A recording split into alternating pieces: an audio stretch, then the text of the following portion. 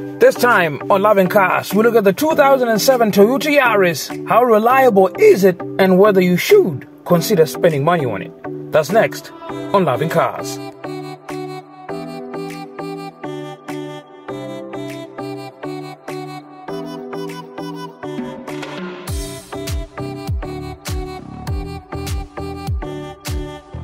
The Toyota Yaris was firstly introduced in 2005 and the 2007 was a continuation or a successor of the firstly newly introduced model in the European and American market. It started doing good because Toyota depended on its reliability and its name that was cemented in people's hearts and people's minds for it to sell. The Toyota Yaris was introduced in two segments and it was either available in a three-door hatchback or a five-door sedan. The five-door sedan was introduced later in order to cater for a small family people who wanted an affordable small small sedan that could actually cater for the family needs. And Toyota actually delivered when it comes to that because ever since the Toyota Yaris was introduced in 2007, it's been selling like cakes.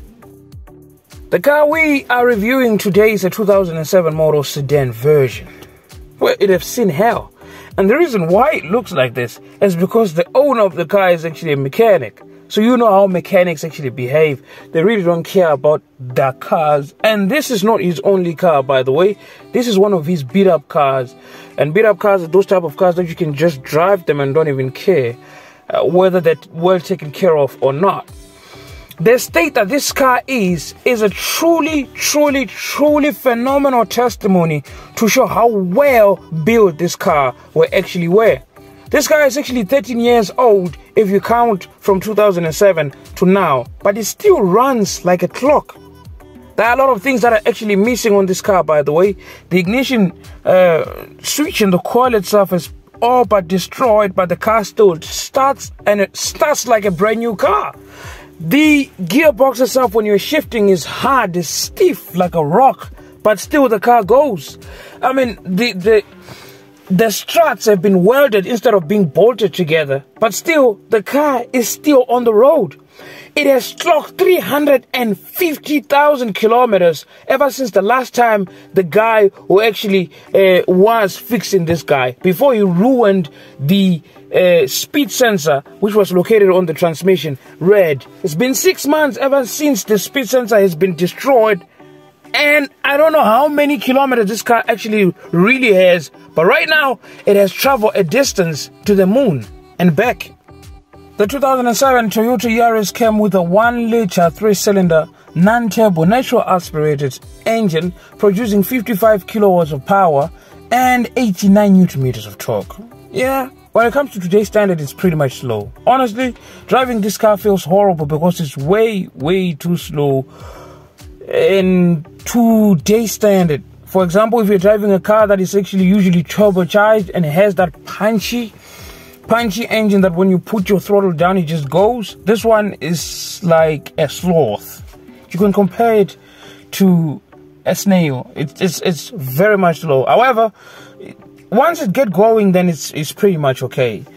And the peak power is available at 4,000 RPM, so you have to rev the hell out of that engine in order for you to get something or to get to start moving from you know, a standstill and later on. So, what are the common problems of the 2007 Toyota Yaris? Well, the 2007 Toyota Yaris engine is pretty much reliable because this car was built with a timing chain, and the only thing that you have to change is a fan belt. Um, the champ that is actually driving this car has changed a fan belt three times because he's buying the cheaper one at AutoZone. Those ones are the aftermarket cheaper one, and they won't last you that long. If you want a proper one, then you should go to Toyota and buy the OEM one, which will last you for years. The engine has never been opened ever since it was built. now we come to the real question. Should you buy the 2007 Toyota Yaris? Would you consider spending your hard-earned money on it? If I was you, I don't see the reason why not. Because in many of the things that people can complain about, for example, the winding uh, uh, uh, windows and you know the the the aftermarket radio and the poor sound system. Beside that, you will get a reliable car that will get you from point A to point B. Judging from the way things are way too expensive in South Africa today and the repo rate in increasing non-stop, I don't see the reason why you shouldn't buy this car. So, the choice is actually yours. Is either you buy something that will cost you more money or you just buy a car that will just be dependable until the end. Well, ladies and gentlemen, that's exactly what I had for you on Loving Carz today. Thank you very much for watching this video and thank you for subscribing. Have yourself a wonderful and a fantastic week ahead.